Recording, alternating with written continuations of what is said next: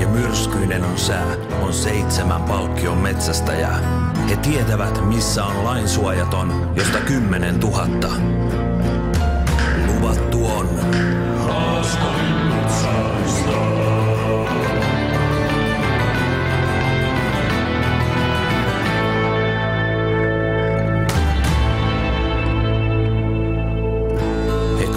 paikkaa ylittää, kun muuan toisista jälkeen jää. Hän suistuu selästä raudikon ja kuusi miehistä. Jäljellä on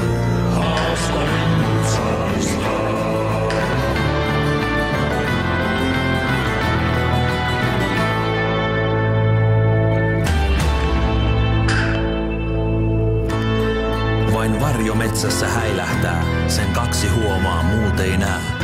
Kääntyvät, oksa rasahtaa ja molemmat kuolleina. Putoaa.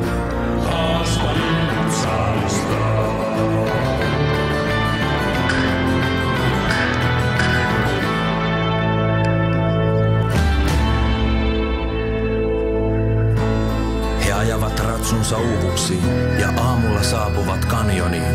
Alas vierii lohkare hirmuinen, se kaksi miehistä. Murskaten.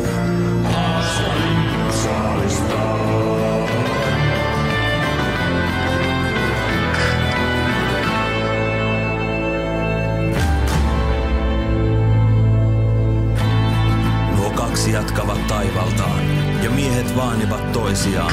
Ja vuoripolku on vaarallinen, miksi toinen horjahti pudoten. Jo viimeinen miehistä vuorella on, luo saapuu hylätyn nuotion.